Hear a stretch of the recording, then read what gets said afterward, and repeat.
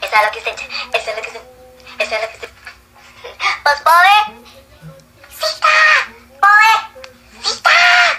Simón, ok. Bueno, pues muchas gracias a todos los que me están ayudando para que mis palabras sean tr- trending topic. Como el Simón Poké o el pobrecita. Pero ahorita no vengo para estar feliz.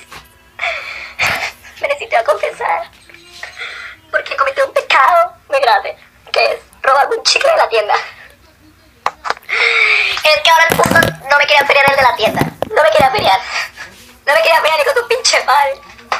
Pues yo llegué. ¿Qué onda?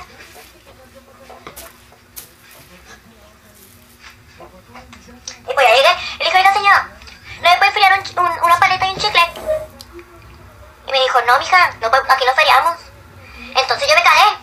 Dije, a mí me va a feriar el pinche chicle con tu pinche madre. Aquí me va a feriar con tu pinche madre. Y no me lo ferió. Así que me lo robé. Yo me lo robé. Así que yo no voy andar haciendo con mamadas porque yo lo bajo de volada. Y yo traigo el chicle. Bien padre. Pero pues me siento mal. Porque yo jamás en mi vida había robado un chicle. Bueno, X, aquí traigo el chicle. X, X la vida sigue. Bueno, a platicar. A mí me caga, a mí me caga ir en el camión y en lo que me voy bajando, le acelera el camión. Y me voy de chingado para el piso. Y todavía me dice, oye, mira, te caíste.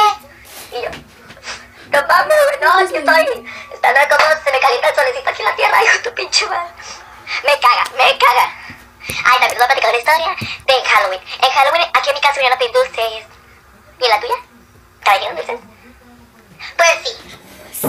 Ah, y, y pues vinieron a pedir dulces a mi casa, luego Halloween, noche de... Yo no doy Halloween. Y así.